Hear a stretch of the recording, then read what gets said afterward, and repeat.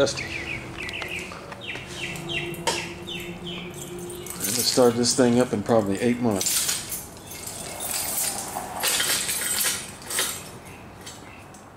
Battery's probably no good. I got a bunch of junk in here. There's the 200 that was out of this car. Steering box.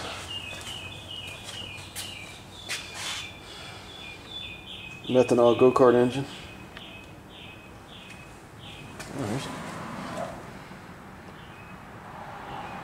Oh, That'd probably work on the truck.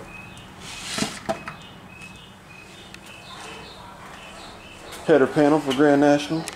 Truck manifold. Mini bikes.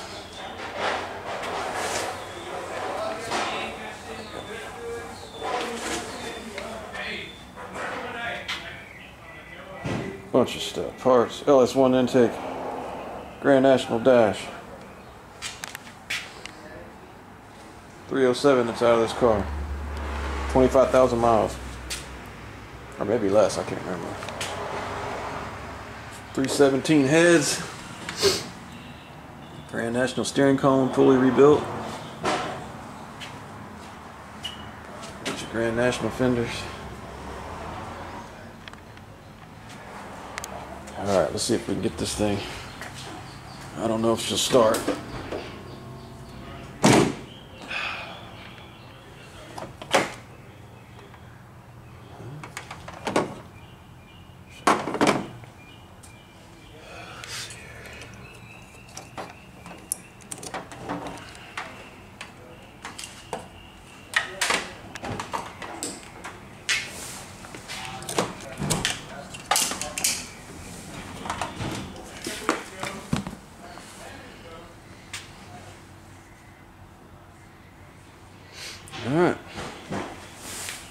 Let's see if she fire up.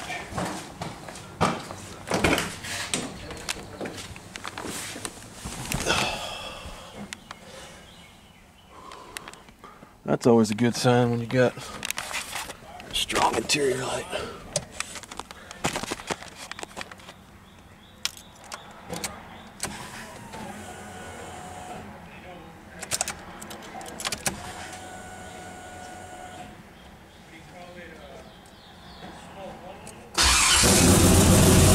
Fire right up.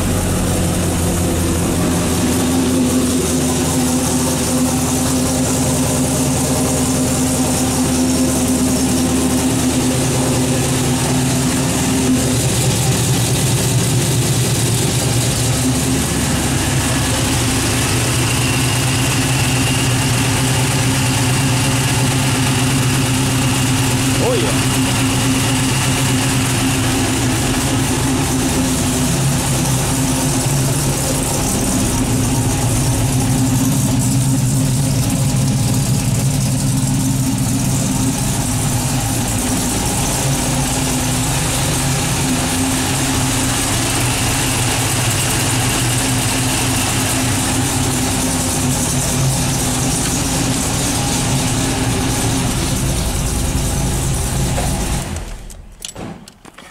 All right.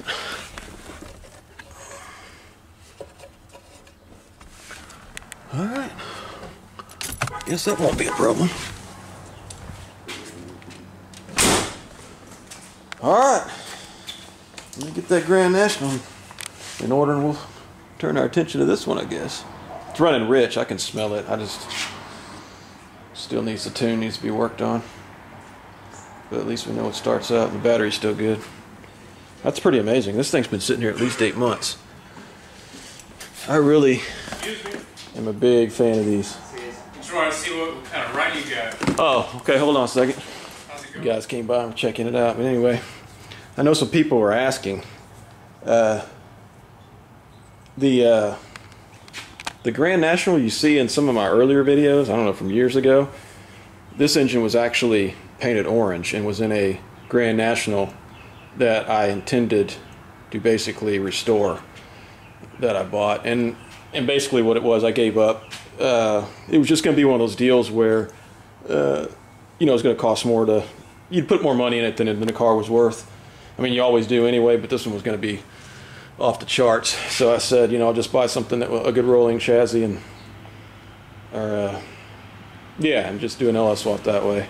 And I lucked out and uh, found this one on eBay and uh, flew to, I believe it was Fort Wayne, Indiana, sight unseen. Uh, paid the guy, got in it, and drove all the way home, back to back to Houston, Texas. So uh, probably wouldn't do that again for a car sight unseen, especially one this old. I might do it on a newer car, but man, it was a long drive, and I was sitting there thinking, man, what if, what if this car wasn't what I thought it was? You know, tires out of balance, or motor not running good, or what, whatnot. So I probably wouldn't do that again. But anyway, back to that Grand National. Uh, I basically parted it out down to the shell. I still have the frame and basically just the the doors and the body, everything. The interior's been parted out. I got some of the parts over here that I'm keeping. Uh, there's the engine that was in it, which is not a turbo block. It's just a naturally aspirated uh, 231. I guess you could drill it for the turbo drain if you wanted, but uh, that and well, you know what? I think it already is drilled. Mean, of course, it's drilled. Yeah, you can see it right there, but it's not a it's not a, a turbo block like I said. Obviously, it was drilled because it was in the Grand National. But anyway, um, so what I did is I took the rear end out of the the parts car. It's in this car now the 342 uh, posi rear is in here. Uh, the steering box out of that car, since the Grand Nationals were equipped with the quick ratio steering box, it's in here now. And the sway bars, since they're bigger in this car, I put, went ahead and bolted them to this car, the front sway bar. Um, that's really everything out of the Grand National uh, into this car. This has a six liter engine out of a 2007 2500 classic pickup that I bought at the junkyard uh, along with the 4L80E they were installed as a package um, that's basically it it's got a Dorman LS6 clone intake uh, a Summit cam and the part number is SUMLS102, I believe. That's I remember the part number for some crazy reason. Got that cam. It's got uh, the heads are milled 30,000. Uh, that's that, that's all it. I don't think there's much more to it than that, but um, doo -doo -doo yeah, that's it. It's not some super highly modified thing. Those are speed engineering F body headers. Uh, it's got some electric fans or Dormans. I don't remember the part number. But I don't know, you can look back to my videos if you want to know the particulars. I know people ask all the time, you know, what happened to the Grand National? Well, it was parted out and the good stuff was, was removed and put in this car. Mainly the rear end. So, we'll be taking this one back to the back to the cave to work on after I get that Grand National run. I'm just glad it, it started up. I was afraid at least the battery would be dead. I didn't think it would make it. I'm a real big believer. I don't know if I covered that. These uh, battery tenders. This one's from, uh, I think it's from Harbor Freight. So Viking. This one's been pretty good. The other one I had went out. But that's uh, that's it. It's got this. I think I went over this in one of the videos when I was doing this car. It's got one of these. Uh, uh, converter boxes that takes the, the signal, the VSS signal from the transmission and converts it to a motor drive so you can use your stock dash. You know, basically, uh, basically a digital to analog converter. That's pretty cool. That's it. Yep. All right, we'll be taking this one back to the house soon, soon enough.